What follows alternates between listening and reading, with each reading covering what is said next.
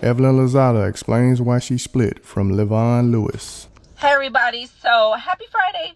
Um, so I wanted to leave a quick message because I know it um it hit the airwaves that Lavon and I we um called off our wedding. And um it really, really warms my heart how invested all of you are in just me finding love and my happiness. Um I will say that I have seen a couple of things and I just want to make this very, very clear. Be sure to like, comment, and subscribe. We have mutually called everything off. Nothing happened. He did not cheat on me. I didn't cheat on him.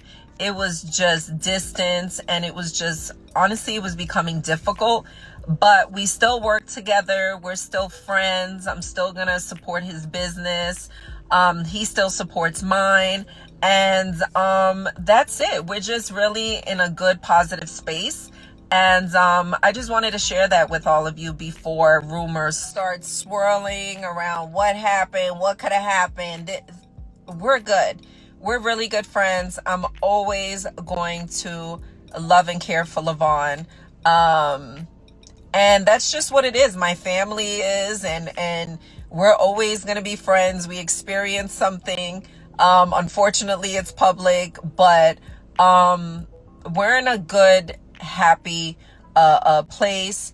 And um, I'm really, really glad that we met each other and that, um, yeah, like it, it doesn't end with just the relationship. Like, you know, we've created a bond that um, I'm honestly grateful for. So, um, so yeah, just Needed to let y'all know on this Friday. Have a good day. I love you guys. Bye.